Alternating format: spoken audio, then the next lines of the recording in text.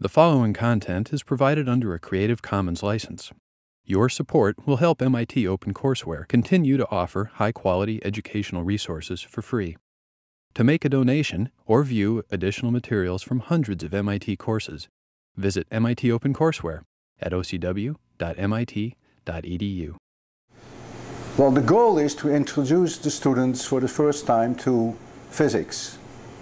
That's to say, calculus-based physics. Many students have already had some of that in high school, but many have not. And 801, the first course of physics, covers Newtonian mechanics, that's at the heart of the course. Depending upon the lecturer, we also cover fluid mechanics a little, and we cover a little of the kinetic gas theory. Well, this course is a general institute requirement. You either have to take this course or you have to take one that is slightly higher level, which we call 8012. We evaluate the students through traditional exams. Um, the lectures are given in the main lecture hall of MIT, 26100, and then the students meet in smaller groups with professors. We call those recitations, which is largely problem solving. I would like to think that every lecture is an event and where possible, I go outside the standard curriculum. I talk about neutron stars, I talk about black holes, I talk about Big Bang cosmology. Uh, in a very natural way, do I introduce musical instruments? I talk about supernova explosions.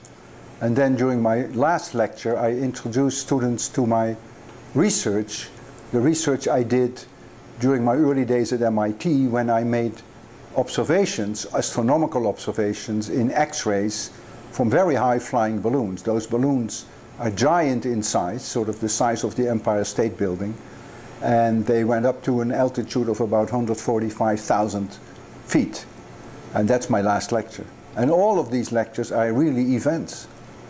Well, the course material on OCW, on my lectures, in addition to being the standard material that you expect from Newtonian mechanics, from fluid mechanics and from kinetic gas theory, as I mentioned earlier, I try where possible to go a little bit beyond that and to make them see through the equations. And by doing that, I make them aware of the environment of neutron stars, of black holes, of supernovae explosions, of musical instruments. I only do that where it comes natural.